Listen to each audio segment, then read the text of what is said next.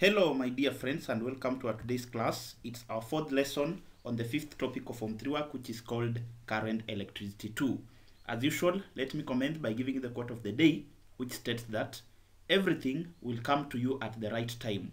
You just have to be patient and stay focused. We shall discuss that quote at the end of our class today. So today we are looking at resistors. Let's start by defining what we mean by the term a resistor. So resistors are simply materials which are designed to offer some resistance to the flow of electric current. So resistors are usually made from different materials. For example, we have the metal alloys, we have resistor wires, and also carbon. Then the variation of resistance with temperature for different materials is as shown in these particular graphs. So one you can see here that a material which is called a tungsten, its resistance usually varies directly proportional with temperature. So this one simply means as the temperature increases, the resistance of tungsten material also increases. Then um, the second material is what we call a thermistor. A thermistor is just an example of a semiconductor. Remember semiconductors, these are just materials whose electrical conductance uh, lies between the conductance of uh, insulators and that of good conductors. Later on in electronics, we shall see that we have basically two types of uh, semiconductors, what we call intrinsic semiconductors and extrinsic semiconductors.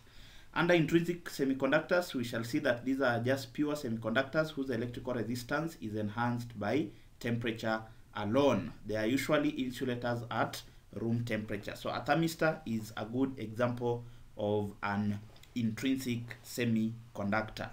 Then the other material is what we call a tungsten, uh, which is usually an alloy. So for tungsten, temperature does not affect its resistance. So you can see as the temperature increases, the resistance of tungsten materials, which is an alloy, remains constant. Then we have basically uh, three types of resistors. One is what we call the fixed resistors. These are resistors which are designed to give a fixed amount of resistance. That is, for example, if it is designed to give only 20 ohm resistance, that is the only uh, amount of resistance that it can offer. So those ones we call them fixed resistors. So resistors that are designed to give only a fixed or a specific amount of resistance, but that resistance cannot be varied.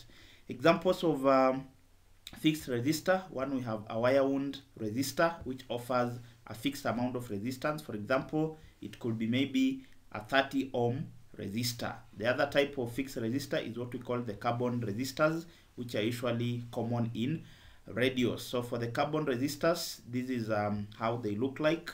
Then in an electrical circuit, the symbol that we use to denote a fixed resistor is this particular symbol here. The other type of resistor is what we call variable resistors. So these are resistors which are designed to offer a varied range of resistance. That is, their amount of resistance that they offer can be varied. Maybe they can be set to offer 10 ohm resistance. They can also be set to offer maybe 20 ohm resistance. They can also be set to offer 30 ohm resistance and so on and so forth. So for the variable resistors, this one, they can offer a varied or different amount of resistance depending on the setting. So an example of variable resistor, one we have a rheostat, which is usually used in volume control knobs on radio. So that is, you can be asked to give an application of a rheostat. So it is used in volume control knobs of radios. In an electrical circuit, these are the symbols that we use uh, to denote a rheostat, either the first symbol or the second symbol variable resistor is what we call a potentiometer, which is simply, uh, it is a three terminal variable resistor. So you can see it has one terminal, the second and the third terminal. But in most cases for the first type of resistor that that is uh, the first type of variable resistor that we looked at, it only had that is a rheostat usually has only two terminals, but a three terminal variable resistor we call it a potentiometer. So its application is that it is used as balance controls in audio amplifier. So if you're asked to give an application of a potentiometer, you simply say that it is used as balance controls in audio amplifiers. Then its uh, circuit simple is as shown by this diagram. The third and last type of resistor is what we call, or type of resistor is what we call nonlinear resistors. So as the word suggests, nonlinear simply means that their resistance is not directly proportional to current. That is, it is not linear or it is not uh, in a straight line.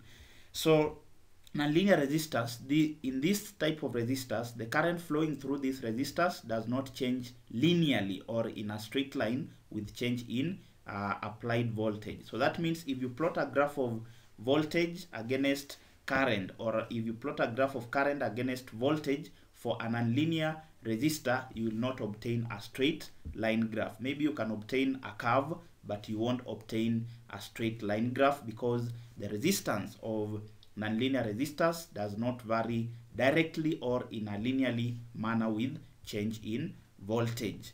So we have basically two examples of nonlinear resistors. One is what we call a thermistor. A thermistor is just a temperature dependent resistor. Yeah, as we explained from our graph, a thermistor is an example of a semiconductor. So, and the thermistor in this case uh, strictly lies under the type of semiconductor which is called intrinsic semiconductors. So we have said that intrinsic semiconductors, as we shall see in uh, the second last topic of Form 4 work, which is called electronics, we shall see that we have basically two types of uh, semiconductors, that is the intrinsic and the extrinsic semiconductors.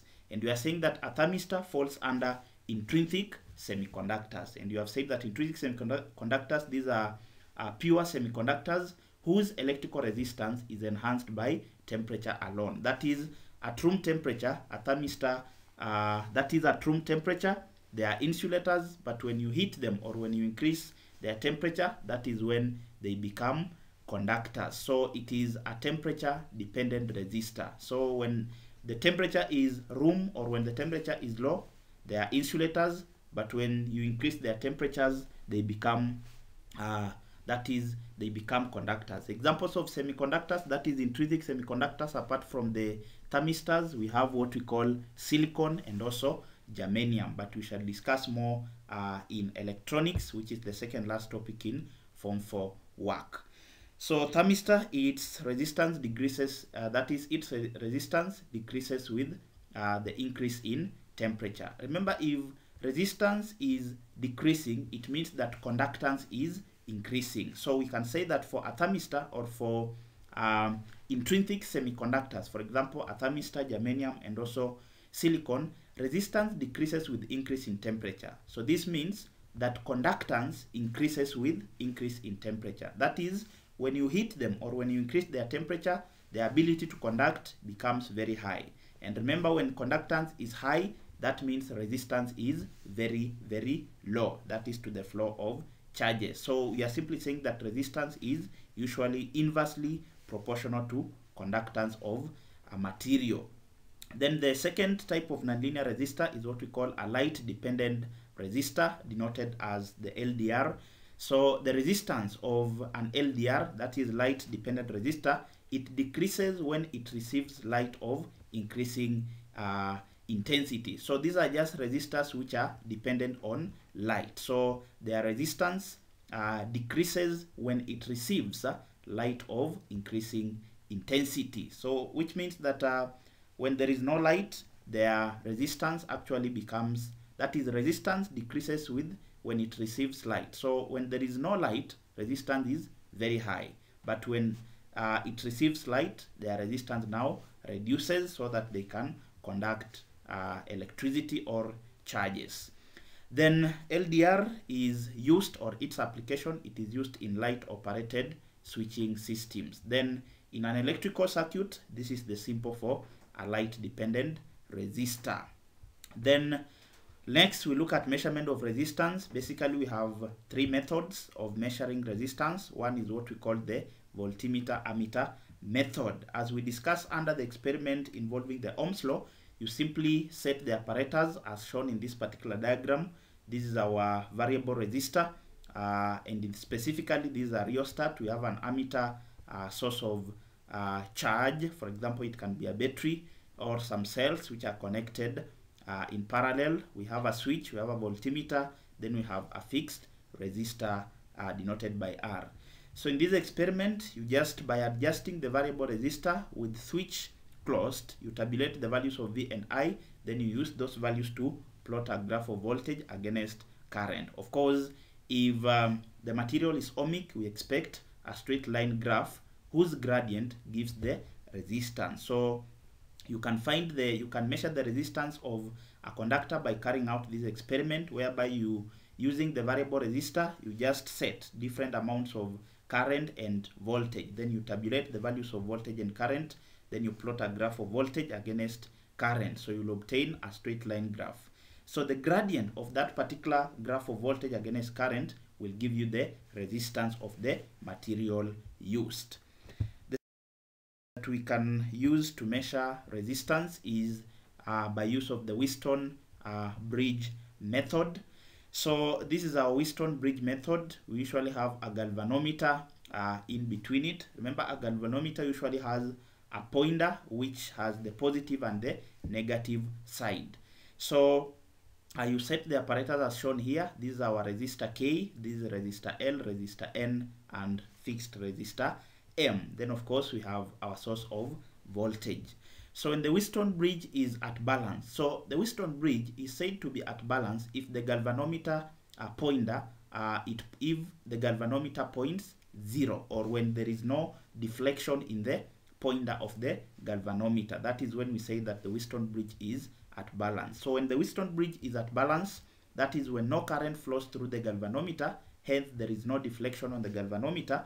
So at that particular point, when the galvanometer pointer uh, reads 0, then if you take the fixed the resistance of resistor K multiplied by resistance of resistor N, that should be able to give you resistance of resistor N multiplied by resistance of resistor M. So at balance or when the deflection is 0, resistance Kn must be equal to the resistance of resistor L times M. For example, if uh, assuming the resistance of K was 10 ohm, then that of uh, L was uh, 40 ohm, and that of N was 20 ohm, we can use these three to compute the resistance of M that is provided the galvanometer pointer is reading zero or when there is no deflection on the galvanometer. So we just take the resistance of K that is 10 times 20 must be equal to 40 times the resistance of M. So 10 times 20, that will give you 200, must be equal to 40 times M. So if you take Kn is equals to Ln, if we make M subject of the formula, you'll just have 10 times 20 divided by 40, which gives you 5 ohm. So the resistance of M is actually 5 ohm. So K times N must be equal to L times M. Then the last method is what we call the meter bridge method, whereby you arrange the apparatus as shown here. This is a galvanometer, this is a fixed resistor K, this is a fixed resistor L. Then we have um, nichrome wire, or we have a wire, a nichrome wire, which is um, mounted on a meter rule. So this is our meter rule here. Then this is our nichrome wire, the one in red. So then we have a, our galvanometer connected to a jockey. So you just move the jockey along, uh, that is along the wire or the nichrome wire AC until the galvanometer records zero or until there is no deflection in the galvanometer. So you just adjust the position of B until there is no deflection on the galvanometer. So that is when the meter bridge is actually at balance. So the meter bridge and also the Wheatstone bridge becomes at balance when the galvanometer pointer reads zero or when there is no deflection in the galvanometer. At that point, if you take the resistance of K times the resistance of BC or the resistance N, that must be equal to the resistance of L multiplied by, by the resistance of the resistor wire from point A up to point B. So at balance, K times N, so K times N must be equal to the resistance of uh, the resistance of BC. That is, if you take Kn, that is Kn, the resistance of K multiplied by uh, N, which is simply the BC, it should be able to give you the resistance of L multiplied by the resistance of M. So remember, BC in this case, BC in this case represents, uh, we are representing BC by letter N and we are representing AB by letter M. So if you take K times the distance BC, this should be, which is simply N, it should be able to give you L multiplied by the resistance AB, which is simply M. Therefore, Kn should be equal to L multiplied by M. Kn should be equal to L multiplied by M. That is at balance. Then we can look at an example. So in this example, it reads that in an experiment to determine the resistance of a nichrome wire using the meter rule bridge, uh, so it is called a meter rule bridge, that is the meter bridge because it uses a meter rule. So the balance pointer was found to be at 38 centimeter mark. So at point B, this is the 38 centimeter mark. If the value of the resistance in the right hand gap needed to balance the bridge was 25 ohm, calculate the resistance of resistor R. So if this is the 38 centimeter mark and this is the 0 centimeter mark, this is the 100 centimeter mark, it simply means that we are dealing with a meter rule. So the first task is to find uh, AB, that is since AC, because the whole of this is 100 centimeter, it means the distance AB will be 38 minus 0, which simply gives you 38 centimeters because B is, a, a, is balanced at the 38 centimeter mark. Then the distance BC, you just take 100 minus 38. So the distance BC will be 100 minus 38, which gives you 62 centimeters. Then from here, we have said that when the galvanometer pointer is 0 or when the system is at balance, if you take R, resistor R times the distance BC, the resistance of wire at between points B and C, must be equal to 25 multiplied by the resistance of the resistor wire between points A and B. So at balance, R times the resistance BC must be equal to 25 times the resistance of AB. So R times BC, we have already computed BC as 62 centimeters, must be equal to 25 times uh, the resistance of AB. AB, we have already computed it as 38 centimeters. So if I make R subject of the formula, I'll simply have 25 ohm times 38 centimeters divided by 62 centimeters. Centimeters and centimeters will cancel out so that I remain with 15.32 ohm. Thank you very much for accompanying me until the end of this particular lesson, but we have the quote to discuss. So the quote of the day stated that everything will come to you at the right time. You just have to be patient and stay focused. So the quote is just encouraging us not to lose hope in life, especially when we don't get the results that we've been working for, that, well, that we've been working hard for. So the quote is also reminding us that provided we stay consistent with, with, with our actions, then the outcomes that we've been desiring for will eventually come. So don't lose hope, keep working hard, everything will come to be well. And lastly, recall that the best things in life are always created from tough situations. So do not run away from tough moments. Instead, embrace them and pick the lessons that uh, will help you to build your future. Thank you very much for accompanying me until the end of this particular lesson. I do not take it for granted. In case you are new to the channel, kindly hit the subscription button and also turn on the notification bell so that whenever I upload a new video, you'll always get notified. In case you know any student that you honestly think could benefit from this content, kindly, kindly refer them to Kind Tuition Academy. Until next time, this is Kind Tuition Academy.